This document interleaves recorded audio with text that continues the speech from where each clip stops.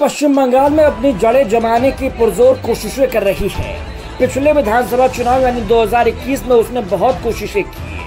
PM Narendra Modi, UP के मुख्यमंत्री योगी आदित्यनाथ और अमित शाह सहित भाजपा के तमाम दिग्गज नेताओं ने जमकर चुनाव प्रचार किया था। बावजूद इसके, भाजपा 77 सीटों पर ही सिमट गई थी। इसके अलावा हालिया लोकसभा चुनाव में भी बीजेपी दीदी के आगे बेदम साबित हुई है। अब जब दीदी के आगे बीजेपी लगातार बौनी साबित हो रही है तो हर तरकीब तो अपनानी पड़ेगी।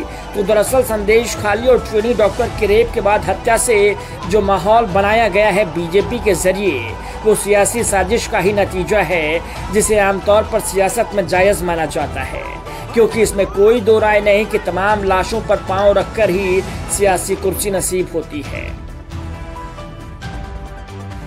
अब दीदी के बंगाल में जो सियासी बवाल मचा हुआ है, उसकी वजह है 2026 में होने वाला बंगाल इलेक्शन, जिसको लेकर बीजेपी ने दो साल पहले से ही माहौल बनाना शुरू कर दिया है।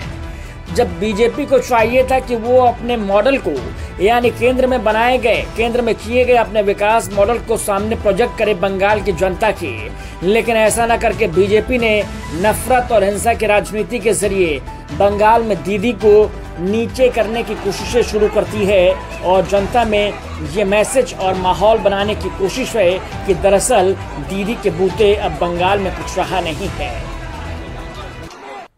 अब इसके जवाब में दीदी ने क्या कुछ कहा है सुन लीजिए আমি বাংলাদেশকে ভালোবাসি ওরা আমাদের মতো কথা বলে ওদের সংস্কৃতি আমাদের সংস্কৃতি এক কিন্তু মনে রাখবেন বাংলাদেশ একটা আলাদা রাষ্ট্র ভারতবর্ষ একটা আলাদা রাষ্ট্র মোদিবাবু, আপনার পার্টিকে দিয়ে আগুন লাগাচ্ছেন।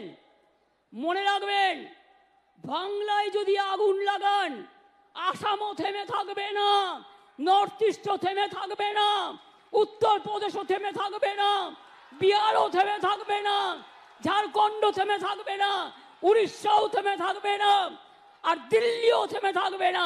আপনার চেয়ারটা আমরা টলমলো করে দেবো।